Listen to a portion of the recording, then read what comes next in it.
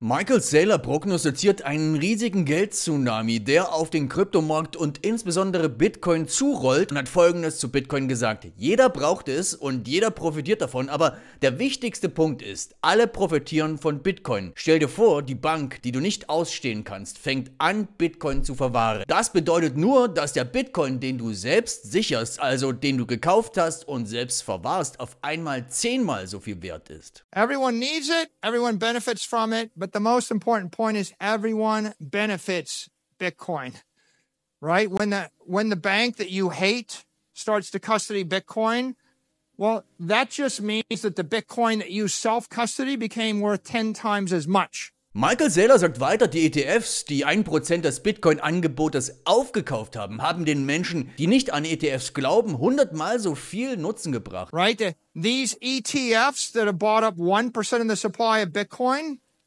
Well, they have conveyed 100x as much benefit to the people that don't believe in ETFs.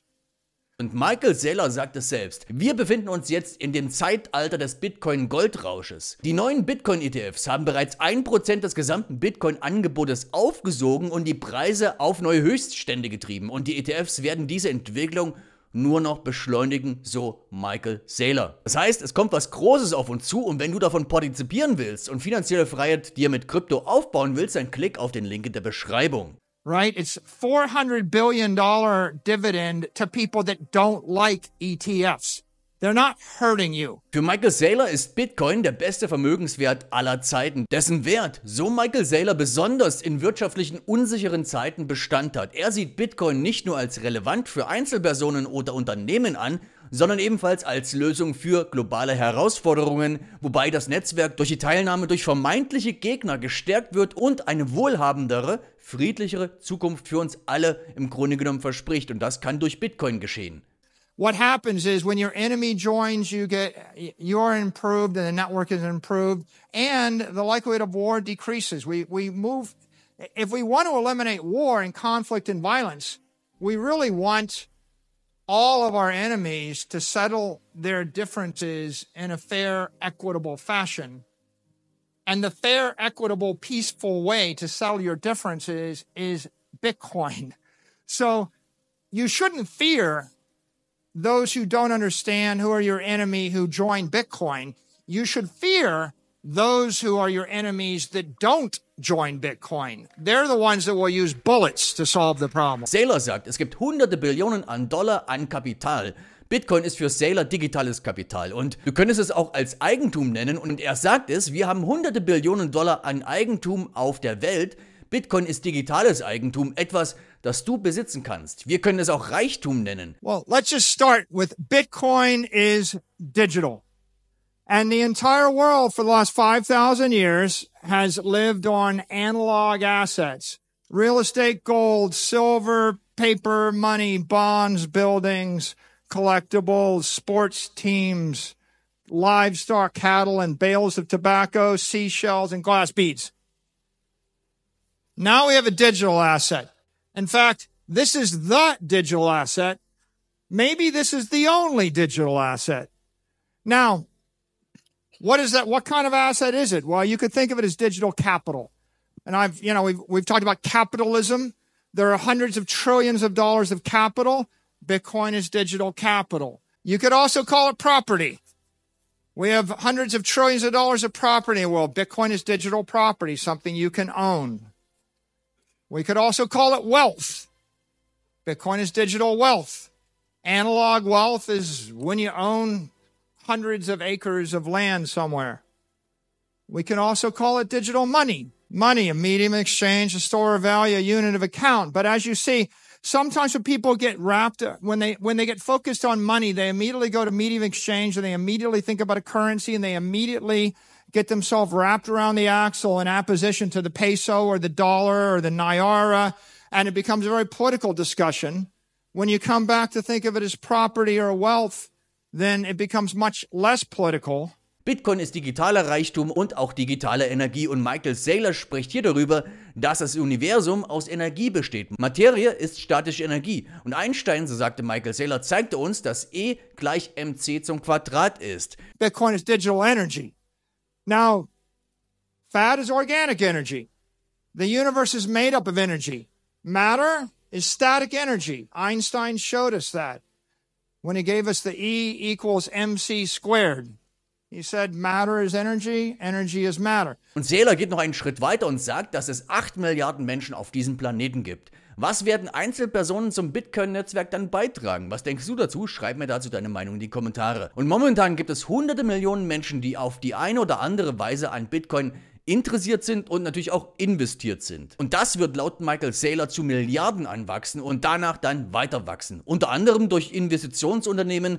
Da sind Organisationen laut Michael Saylor, die in den ersten 15 Jahren der Existenz von Bitcoin kaum beteiligt waren. Investitionsunternehmen können Investmentfonds, Treuhandfonds, börsengehandelte Fonds, also ETFs, Hedgefonds und so weiter sein. Sie verfügen laut Michael Saylor nicht nur über Billionen, sondern wahrscheinlich über hunderte Billionen an Vermögenswerten und sie entscheiden, wie diese Vermögenswerte im Grunde genommen dann verwendet werden. Und diese Institutionen vertreten Familien beispielsweise und auch Einzelpersonen und auch andere. Man kann und sollte sie auch nicht ignorieren, vor allem wenn sie darüber entscheiden, 10 Milliarden Dollar beispielsweise aus Gold zu Bitcoin dann umzuschichten. Und täglich wird aktuell Bitcoin im Wert von hunderten Millionen Dollar gekauft. Und die damit handeln und in Bitcoin investieren, bauen gerade Milliardenpositionen auf. Und Michael Saylor glaubt, dass das erst der Anfang einer massiven Adoption ist, die wir jetzt in der nächsten Zeit sehen werden. Now, Bitcoin is more than these things. I could, I could go on for a while, but the point of this is not to talk to you about what Bitcoin is. You already know what Bitcoin means to you. The real point of this discussion is to talk about what Bitcoin means to the rest of the world. Bitcoin's going to have many types of participants in the future. You know, one set of participants, one set of people that are going to be plugged into the Bitcoin network are clearly individuals. There are 8 billion individuals on the planet. What are individuals going to contribute to the Bitcoin network? Right? The individuals bring creativity, they bring clarity, they bring conviction, they bring capability, they bring the conscience of the to the world. And of course, they are going to hodl. They're going to hold Bitcoin for life, right? Now, how many? Lots, right? Right now, there are hundreds of millions of individuals that have an interest in Bitcoin, one way, shape, or the other.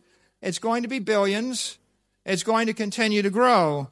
And a lot of times, a lot of our education is really focused on the individual.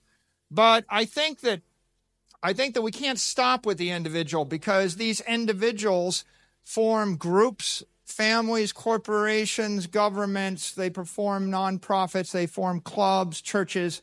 There are a lot of ways that individual individual creativity and aspiration manifest itself. And of course, one of my favorites is families. There's a billion families, billion, uh, about a billion families. And why do families matter? They're the future of humanity. That's why they matter, right? Families bring the compassion, they bring the community, they bring continuity, they bring joy, they bring hope. And a, and a family is, is uh, just a much more powerful unit than just an individual. Families will hodl. And we start, we're starting to think about families now and how they join the network. But there's a third organization Third type of group, an investment company. This is uh, this is an, a set of organizations have not been involved in Bitcoin much uh, for the first 15 years of its existence. But investment companies can be um, they can be mutual funds, they can be trust funds, they can be exchange traded funds, these ETFs, they can be hedge funds, and they have not trillions, but probably $100 trillion worth of assets floating out there. And they get to decide how those assets will be disposed of and how they'll be situated. And they are actually acting on behalf of families and on behalf of individuals. On one hand, you can't write them off when they can decide to, uh, to reallocate $10 billion from gold to Bitcoin on behalf of 18 million retirees that used to work for the Postal Service, right? And when they make that decision, they're making that decision that impacts families and impacts individuals, but they're also making the decision as a fiduciary. And in the last 36 days have been an illustration of how important these kind of companies are because every day in the market, they're buying hundreds of millions of dollars of Bitcoin. They're trading it and they're building up billion dollar positions. This has just started. We're 36 days into a massive adoption of just these exchange traded funds, but it's going to just keep going and they're going to ripple all through the world, through all sorts of economies, and they will have a, profound impact. And, and in my opinion, a profound impact for good. 2018 stand so Michael Saylor die Bitcoin-Gemeinde Larry Fink skeptisch gegenüber, doch seit geraumer Zeit lobt Larry Fink im Fernsehen sogar Bitcoin als Hoffnungsträger und auch Wertspeicher, der individuelle Souveränität schützt. Und dies verdeutlicht, dass die scheinbaren Gegner von Bitcoin laut Michael Saylor eigentlich potenzielle Befürworter sind. Uh, it used to be, if you go back to 2018 in the Bitcoin community, if you said the word, you said Larry Fink, people go, they would say, oh, Larry Fink doesn't like us. And uh, in the year 2024, Larry Fink goes on television and speaks to leaders in the world and says Bitcoin is a store of value. It, it protects the sovereignty of the individual. It allows, allows you to achieve your hopes. It is hope.